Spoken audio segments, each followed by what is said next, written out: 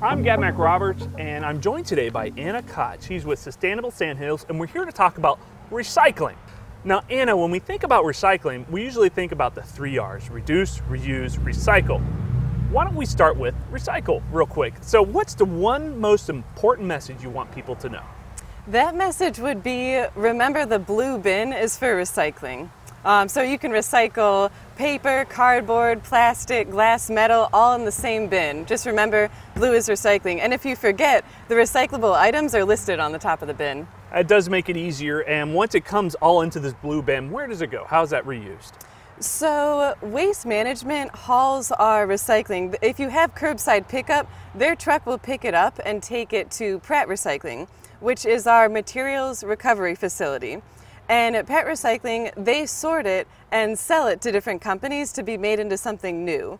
So, for example, the uh, plastic number one or PET plastic, those items are taken to ClearPath Recycling and they're made into plastic fibers and plastic flooring and things like that. The plastic number two, or HDPE, is taken to Envision Plastics, and they make it into plastic bottles and things like that. And then paper and cardboard are taken to a different Pratt facility where they're made into uh, new cardboard boxes and cardboard displays. And, and also, we, we got to remember there's also aluminum cans can be recycled and yes. glass bottles. That's an important part of that uh, recycling triangle uh, to, to repurpose all those materials. You know, what I think I love about the Fayetteville program is the fact that it's being sorted out by the contractor. The resident doesn't have to do any of the sorting, which makes it really easy for people to participate. Um, so what's the second most important thing you want people to understand about the recycling cards? The second thing would be don't put plastic bags in the recycling. And this in, this includes anything that can tangle up the machines at Pratt Recycling. So that would be plastic bags, hoses, uh, electrical cords, um, all that causes a problem at the facility. Um, it, and the number two contaminant is, is, food waste. So it's really important to rinse your recyclables and, uh, and it helps make the process more efficient you know, when I started learning about recycling and, and, putting together educational programs, I was surprised to discover I'm not supposed to put cardboard boxes that my pizza came in because of that food waste. That grease can actually make that cardboard uh, unusable. Is there anything else that we need to make sure uh, may seem like it's recyclable, but we don't want to put into the blue cards? Yes, so electronics, things with cords, tires, um, those are technically recyclable, but not in uh, your blue curbside bin. Remember, anything that's listed on the top, those are the only things you can put in there. But you can recycle those easily at any of the 16 Cumberland County container sites. And so those are listed at cumberlandcountync.gov.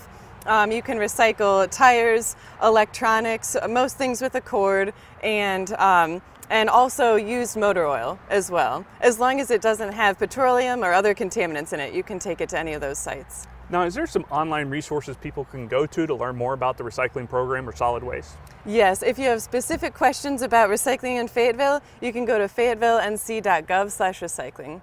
Excellent. And I understand there's also the Cumberland County web has a website as well about that too. Yes, cumberlandcountync.gov is where to go if you're looking for those 16 county container sites where you can recycle e-waste and um, tires and things like that for free.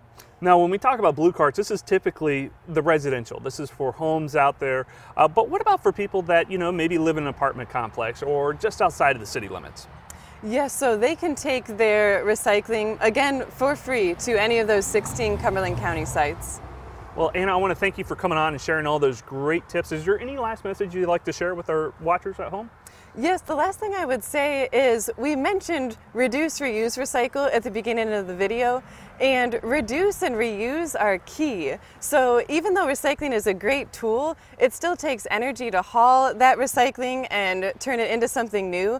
But if you use reusable bags and skip those disposable bags, if you use um, uh, reusable dishware at home and um, and skip the uh, disposable plastic bottles, then that really goes a long way in conserving, um, reducing space in landfills, and conserving resources.